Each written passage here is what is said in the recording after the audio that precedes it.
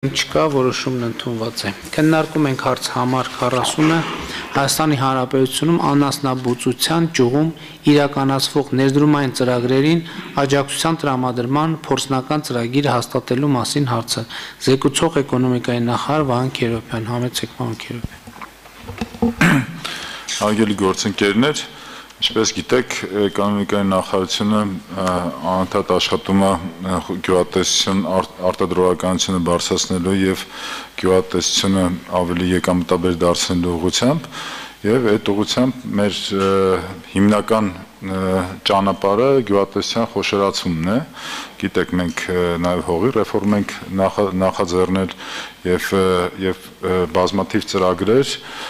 այսպես ասենք, ընդլայնվել են դեպի վերև, հա, մենք անցած տարի բարձրացրեցինք ինտենսիվ այգիների սահմանաչափերը եւ այլն, եւ հիմա առաջ ենք վերել մի նոր փորձնական ծրագիր, որով այսպես ասենք, խթանելու ենք խոշոր գյուղատնտեսական ծրագրերը անասնաբուծության ոլորտում, մասնավորապես տավարաբուծության, խոզաբուծության եւ թռչնաբուծության ոլորտում, որովհետեւ այս երեք ուղղություններով էլ մեր ինքնաբավության մակարդակը բավական ցածր է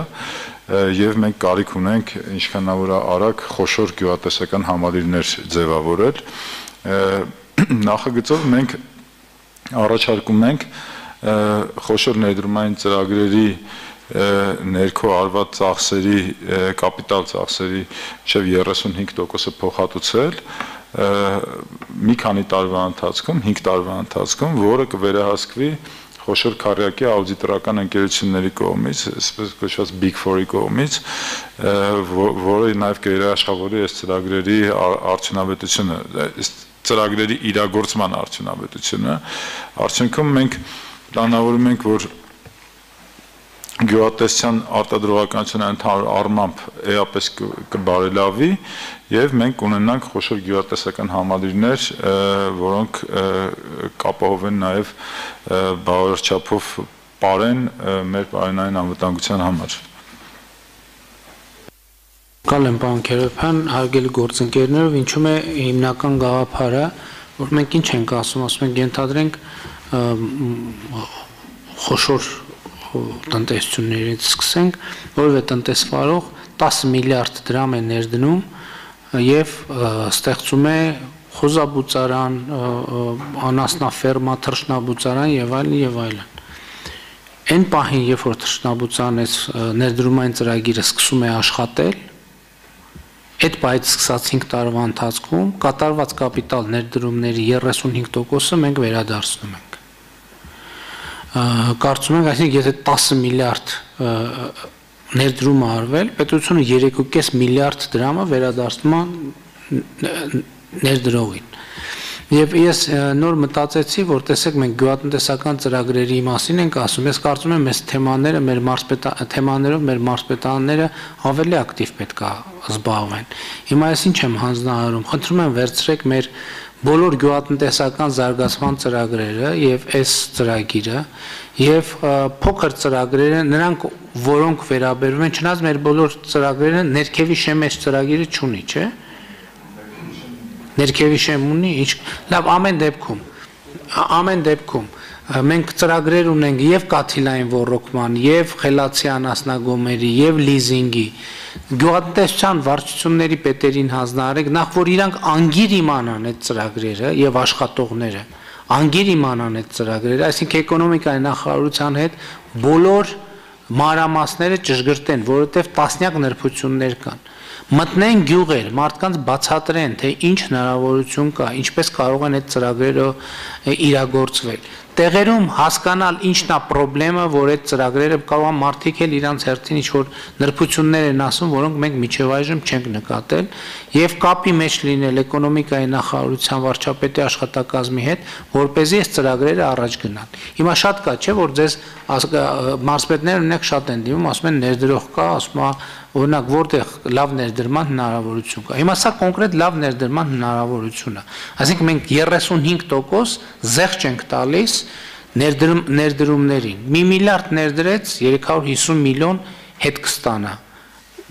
գործարկման պահից 5 տարվա ընթացքում 10 միլիարդ ներդրեց 3.5 միլիարդ, այսինքն 35% բոլոր դեպքերում հետ կստանա։ Այստեղ մեր մարզպետարանների գործը շատ կարևոր է, ամեն գյուղացի եւ ամեն պոտենցիալ ներդրող պետքա տեղյակ լինի։ Բոլոր եւ մարզպետարաններում պետքա ծրագրերից տեղյակ լինեն, որովհետեւ վերնագիրը ասում են, չէ մարդը պիտի իմանա ուր պիտի դիմի,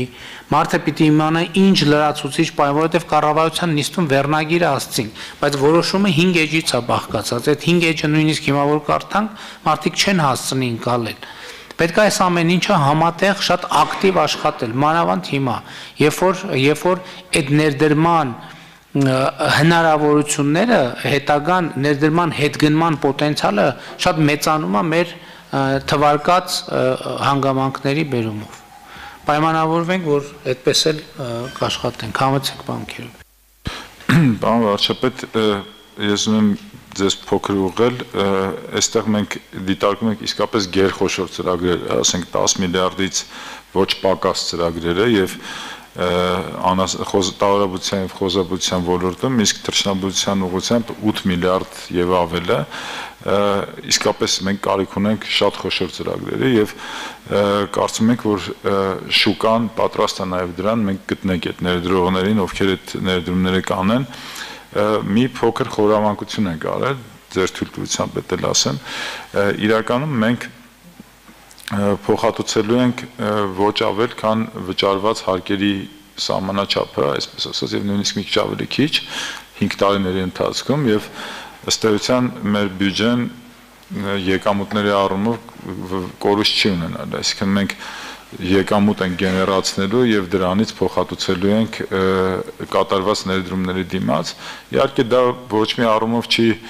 նսեմացնում մեր մեր ծրագրի գրավչությունը, հակառակը դա ընդունված մեխանիզմ է եւ շատ երկրներում է կիրառվում։ Կարծում ենք, որ այնուամենայնիվ ինքը հաջող ծրագիր կլինի։ Շատ լավ, պարոն Քերոբյան, դա չի փոխում ոչ մի բան, որովհետև միևնույնն է մարդուն տոկոսը վերադարձնում ենք Իսկ մնացած մասով, երբ որ ես մարզպետներին ասում եմ, այո, մարզերում ի վերջո հույս ունենք ստեղել չեն ուզենալ Երևանի կենտրոնում այդ ներդրումը անեն։ Ես էլ մարզերի մասին է խոսքը եւ մարզպետները պետք է ակտիվ լինեն։ Բացի սրանից, խոս ունենք խելացի անասնա գոմերի ծրագիրը, ունենք կաթիլային ռոռոկման ծրագիրը, ունենք ինտենսիվ այգեգործության ծրագրեր եւ այդպես շարունակ։ Մեր մարզպետները պետք է շատ ակտիվ լինեն եւ նույնիսկ ասում եմ տեղերում պետք է փորձեն մարդկանց միավորել, որպեսզի նրանք գյուղատնտեսական կոոպերատիվներ ձևավորեն եւ միասնական փորձեն ավելի մեծ ծրագրեր իրականացնել, մանավանդ մենք գյուղատնտեսական կոոպերատիվներին վարկավորման մասով արտոնությունները դեռևս պահպանվում են, չէ՞ մեզ մոտ։ Այո։ Շատ լավ, բան ունեք ասա։ Համեցեք բան խոյ։ Շնորհակալ եմ, պարոն վարչապետ։ Ես ուզում եի լրացնել պարզապես, որ մենք այստեղ մի շատ կարևոր քաղաքական լուծում ենք տվել։ Մենք ունենք յուղատնտեսության մեջ փոքր տնտեսությունների համար հարկազատում բացարձակապես, այսինքն չեն վճարում թե շահութարկ, թե ավելացված արժեքի հարկ, թե եկամտային հարկ։ Եվ ունենք խոշոր տնտեսությունների համար հարկեր, շահութարկի պարտավորություն, եթե վարձու աշխատողներ ունեն բնականաբար եկամտային հարկի վճարման պարտավորություն եւ նաեւ արտադրանքը ավելացված արժեքի հարկով է հարկվում։ Հետևաբար այս որոշումը այս կերպ փոխհատուցելու նաեւ այդ խոշորների խոշորացման հետ կապված իրենց անհավասար վիճակում հայտնվելու հարկերի վճարման պատճառով հարցն է կարգավորում։ Այսինքն մենք խոշորներին վերադարձնելով իրենց հարկերը ասում ենք, որ մենք ձեզ տալիս ենք առնվազն այնպիսի արտոնյալ պայմաններ, ինչպիսի կունեն փոքրերը, եւ մենք դրանով խոշորացմանը նպաստող քայլ ենք կատարում։ Զի փոքրերը խոշորացումից չխուսափեն։ Շատ լավ։ Համեց նույնիսկ հարկերից մի քիչ ավել ենք տալիս, որովհետև ԱՀ-ի կեսն ենք սահմանում, եթե չեմ սխալվում, ուզում եմ ասեմ, տեղ նույնիսկ բացի ըստ էության հարկերի վերադարձից նաև հավելյալ էֆեկտներ կա, բայց այդտեղ մի շատ կարևոր խնդիր էլ է լուծվում։ Եթե նախ մեր նպատակը որ պրոյեկտները պետք է թափանցիկ լինեն, ստե նկարագրության մեջ ակնհայտ խթանը դրված է, եւ երկրորդ շատ կարևոր հարցը, որ երբ որ մենք ի սկզբանե սենց միջոցառում ենք հրաապարակում, պոտենցիալ ծրագրերը դառնում են բանկունակ ու վարկունակ Այսինքն սա չի նշանակում, որ մենք փնտրում ենք ներդրող, որը հենց հիմա ազատ միջոցներ ունի 10 միլիարդի Բացարձակ ընդհակառակը նկարագրությունը մենք նենց ենք արել, որ գյուղատնտեսական ոլորտում խոշոր վարկերը դառնան հրապուրիչ ներդրողի համար, այսինքն ինքը ոչ միայն պրոյեկտն է սարքում հրապուրիչ, այլ նաև պրոյեկտի ալտերնատիվ ֆինանսական միջոցների ներգրավումը։ Կարծում եմ շատ լավ շատ լավ սկիզբ է իմ կարծիքով եւ ձեր ասած շեմերը պարոն վարչապետ ընդհանրապես ես վստահ եմ որ մենք անընդհատ կկոռեկտավորենք եւ վերևի շեմը կբարձրացնենք, ներքևի շեմը կիչացնենք, ուղակի սկսենք, հետո ժամանակի ընթացքում իմ կարծիքով ինքը դառնալու է խարսխային միջոցառում ու թե հենց իրան լավարկելով կշարունակենք, կսարքենք գրավիչ մի գործընթաց վստահ եմ։ Շատ լավ։ Այստեղ թեմայի հետ ուղիղ առնչություն չունեցող, բայց անուղակի առնչվող քանի որ թրջնաբուծարանների մասին է խոսք գնում, թեմայում եմ ուզում անդրադառնալ։ Մենք հիմա վերնագրերում լրատվամիջոցներում տեսնում ենք, որ ելի նախորդ տարիների նույն պատմությունը կրկնվում է, երբ որ ձվի գնի այս դեպքում էլ կտրուկ անտրամաբանական գնանկում ունենք, ինչի է դա մեզ անհանգստացնում։ Դա մեզ անհանգստացնում է, օրինակ հիմա սուբ զատկի շրջանում եւ այլ օրինակ տիեզերական չափերի են հասնում ձվի գները եւ ես գիտեմ որ տնտեսական մրցակցության պաշտպանության հանձնաժողովը այսպես ասած շատ մոնիտորինգի տակ է պահում իրավիճակը պարոն Գևորգյան տեսա նաեւ որ մրցակցության չարաշահման դեպքեր չեք արձանագրել ինչպես են կառավարելու վիճակը, որ էլի զատկի տոների հետ կապված եւ ընդհանրապես հետագայում այդ նույն խնդրեմը չունենանք, որ նախկինում ունեցել ենք։ Համեցեք։ Շնորհակալություն, պարոն վարչապետ։ Այս տարվա դեպքը կրում էր առանձնատուկ բնույթ, որովհետև գնիչեցումը տեղի է ունեցել փոքր տնտեսվարող սուբյեկտի կողմից ու մասնաբաժինը չի գերազանցում 5%-ը ու շղթայաձև ռեակցիա է տվել, այսինքն այդ տնտեսվարող սուբյեկտը գործել է մեկ սուպերմարկետում, սուպերմարկետում գինիչել է, առաքիչների միջոցով այլ տեղեր եւս գինը սկսել է ջրել եւ շղթայական ռեակցիա է տվել։ Իրականում չի կարող կայացած շուկայում փոքր տնտեսվարող սուբյեկտը նման փոփոխություն։ Ինչ վերաբերում է զատկին կամ ընթառաջ, դե եթե մենք կարողանում ենք վերահսկել խոշոր տնտեսվարող սուբյեկտներին, իսկ պատմությունը ցույց տվեց, որ մենք կարողանում ենք վերահսկել, որովհետև երկու տարվա ընթացքում կարծում եմ հարգելի տնտեսվարող սուբյեկտները հասկացան, որ ապացուցողական բազան բավականին լավն է մեր եւ հակամրցակցային համաձայնություն գերիշխող դիրքի գործերը հաջողությամբ կարծես թե ավարտեցինք։ Իհարկե դա ցանկալի սցենար չէ, մեր հորդորը այն է, որ մենք ընդհանրապես ինտերվենցիայի կարիք չունենանք, Հիմա Հայաստանում կա մի կողմից լավ իրավիճակ, որ ձվի pašարները ինքնաբավությունը բարձր են եւ ունենք պրոֆիցիտ, այդ պոտենցիալի պատճառով է, որ հաճախ սպառումը տեղի ունենում եւ սկսում են տնտեսողի չէ։ Հիմա մենք էկոնոմիկայի նախարարության մեր գործընկերների թռչնաբույսների հետ քննարկում ենք այդ պրոֆիցիտը դեպի դրական տեղ ուղղելու, այսինքն վերամշակում, արտահանում որպեսզի այս խնդիրները վերանան։ Եթե թույլ տաք մի հատ հավի մսի եւ տավարաբուծության կապված երկու թիվ հնչեցնեմ, այս ծրագրի կարևորությունը մատնանշելու համար մենք այս տարի ուսումնասիրել ենք հավի մսի շուկան եւ կատամաթերքի շուկան, ուրեմն հավի մսի պաշարները աշխարհում ավելանում են, բայց սպառումը ներքին այնքան է ավելանում, որ դեֆիցիտը աշխարհում ավելի է մեծանում։ Հիմա աշխարհագրությունը Հայաստանի Հանրապետություն փոխվել էր եւ ներմուծման հիմնական ծավալը գալիս էր Ուկրաինայի Հանրապետությունից, դա հասկանալի պատճառներով հիմա կփոխվի ԱՄՆ-ը եւ Բրազիլիա, այստեղ մենք վերջերս կառավարություն որոշում էր կայացել քվոտավորել շատ կարևոր հանգամանքա եւ արտադրողներին եւ ներմուծողներին, սա եւս աննախադեպ բան է, որ մենք արտադրողներին քվոտա ենք տվել, կառավարությունը մենք ասելով կարծում եմ այս ծրագիրը պետք է բավական հասկանալի տնտեսվարող սուբյեկտների համար, որ հավի մսի արտադրության պարագայում սպառման խնդիր իրականում չկա։ Հայաստանի Հանրապետությունը ինքնաբավության մակարդակով 30-ից 33% է եւ այս ծրագրերի ամբողջ ծավալի օգտագործման նույնիսկ պարագայում մենք ունենք սպառման տեղ։ Իսկ բիզնեսում ամենակարևորը սպառում է։ Նույնը կատամաթերքի առումով է, որ մեր ներքին դեֆիցիտը կարողանանք ծածկել։ Շատ լավ, բայց ես գուցե տենց դիտարկում անեմ, գուցե տնտեսագիտական առումով ոչ այդքան կոմպետենտ, գուցե ոչ այնքան գրագետ, բայց տեսեք, եթե ընդհանուր գնաճի պայմաններում, երբ որ երբ որ սնդամթերքը ընդհանուր գինաճում է եւ մենք ունենք կալորիական առողջարար սնդամթերք հավի ձվի տեսքով, որի գները անկում են ապրում, եւ այսինքն շուկայում դիվերսիֆիկացիա տեղի չի ունենում, մարդիկ չեն սկսում ավելի շատ ձու սպառել, որովհետեւ դա շուկայում ավելի էժան է։ Այսինքն ինչի է այդքան, էլի նույն պատմությունը ամեն տարի կրկնվում։ Պարոն վարչապետ, որովհետեւ մեր այն ծրագրերը, որոնք խթանել ենք, մի քիչ շատ ենք խթանել արդեն։ Դու շատ ես սկսել արտադրությունը, էական շատ է տեղի ունեցել արտադրությունը, քան սպառումը։ Է, բայց շատ լավ, եթե ասում եմ, ենթադրենք մարդը օգտագործում էր 10%, այսպես ռացիոնի մեջ 10% ձու 90% ուրիշ բաներ, եւ մյուսները շատ էական թանկանում են, այս մեկը նվազում է։ Այստեղ սպարման ավելացում մենք չունենք։ Այդ պարագայում կլինի սպարման ավելացում, բայց ձվի պարագան, քանի որ ձուն ինք միատար եւ հիմնական ոչ փոխադարձ փոխանապրի, իր սպառումը sense տնը ստանդարտված է։ Այդ ձեր ասածը շատ ավելի ակտիվ է Երևանում հավի մսի շուկայում։ Գնի բարձրացման պարագայում տավարի, ոչխարի, խոզի մսի պաշարների օգտագործումը ավելի է քչանում եւ մարդիկ իջնում են դեպի հավի մսի շուկա, որը ավելի շատ սպիտակուց է պարունակում, սպիտակ միս է եւ ավելի էժան է։ Բայց այո, ձեր ասած տրամաբանությամբ հա, ձվի պաշարների որոշակի ավելի մեծ ծավալով օգտագործում կլինի, բայց մեր արտադրության ծավալն ուղղակի ավելի շատ է։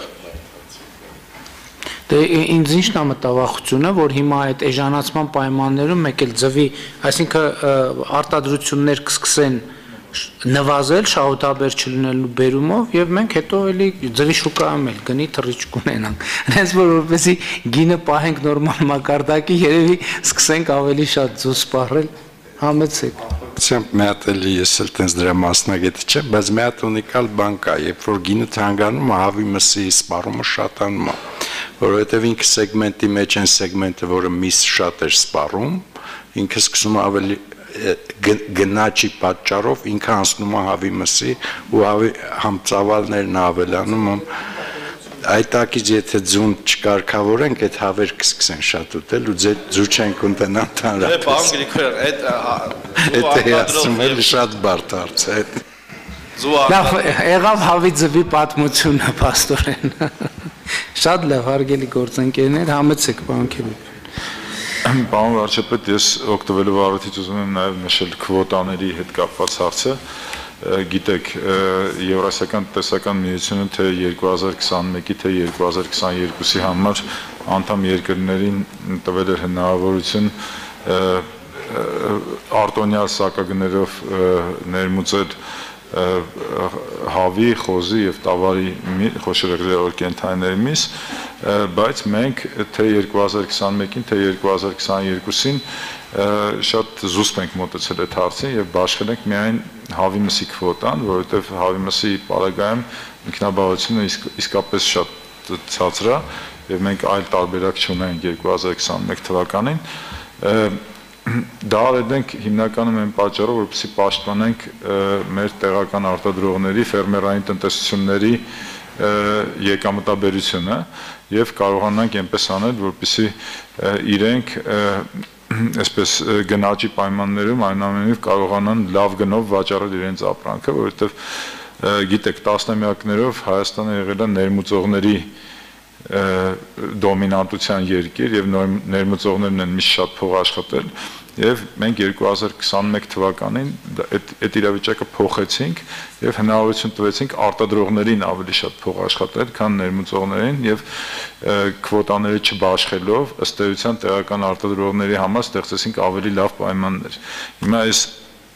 խոշոր ծրագրերի պայմաններում մենք կարող ենք քննարկել նաև խոշոր արտադրողների հետ այս պրակտիկան շարունակելու շարունակելու սկզբունքը, որպեսզի իրենք ներդրում անելիս իմանան, որ վտանգված չի լինի իրենց տեղական սպառումը էժան ներմուծումների կողմից։ Շատ լավ։ Հարց համար 40-ը դրվում է քվեարկության, ովքեր են դեմ որոշման ընդունմանը։ Դեմ չկա, որոշումն ընդունված է։ Քննարկում ենք հարց համար 24-ը